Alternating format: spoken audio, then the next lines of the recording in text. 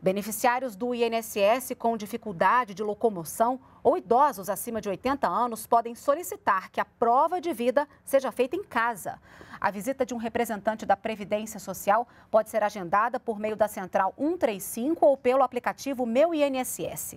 A medida foi publicada no Diário Oficial da União. A prova de vida voltou a ser obrigatória no mês passado. O INSS vem implantando gradualmente a prova de vida pelo celular para beneficiários que já têm carteira de motorista ou título eleitoral com biometria cadastrada.